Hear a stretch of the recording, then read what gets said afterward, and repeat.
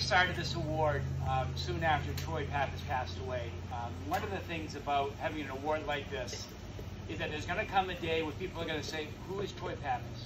Who is Bud Williams? Who you know? Who is this person?"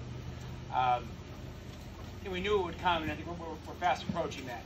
Troy Pappas um, really changed his community. Troy is like any one of you. He was a middle school student.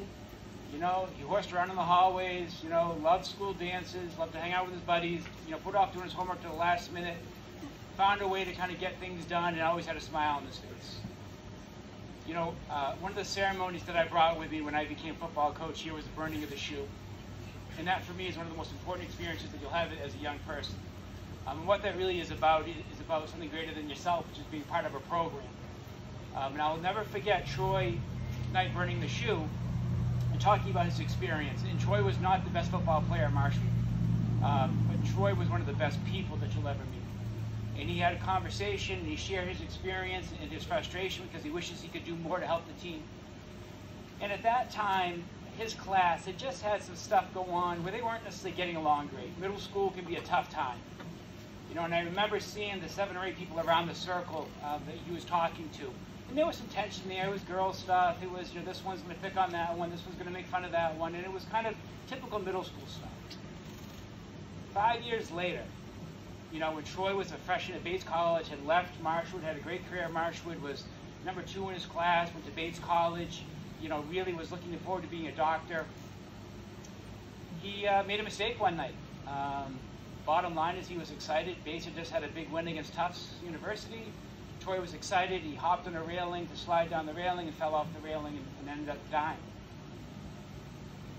You know, uh, it was those same kids that burned the shoe that were there in the hospital with him waiting, making sure he knew he wasn't alone.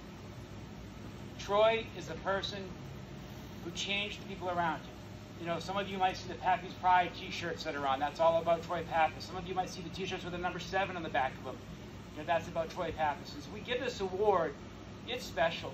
You know, it's for someone who goes above and beyond themselves, someone who really thinks about the bigger picture, someone who can change those around them. Let's do the right thing, not always the easy thing. Um, and I, you know, Sean asked me if I'd be willing to come and speak about Troy. You know, obviously, um, Troy's like a son to me. I, I, get emotional talking about him now. Um, both my boys love him dearly. Um, you know, I have pictures of him hanging up in my house. I, I spend time with, with his mother and father, you know, on a regular basis. You know, um, just important, important people in this community. But more importantly, Troy can change who we are as people. And Troy was one of those people for me. He made me a better coach. He made me a better father. You know, so to give this award to me, it's really special. It's really important, and it goes beyond just someone who you know might have made a tackle in the game. Because I, I hate to break it to everybody, I love football. I devoted my life to football. My boys play football. It, but it's about football teaches you life skills and how to be good human beings when you get older. How do you get up when you have to go to work and you don't want to go?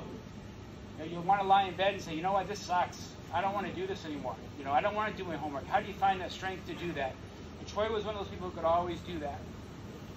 And so to get this award today, I could not be more proud. Um, I got some background information from my wife. Um, I talked to Coach Casey a little bit, but I wanted to recognize Jack McManus. Yeah!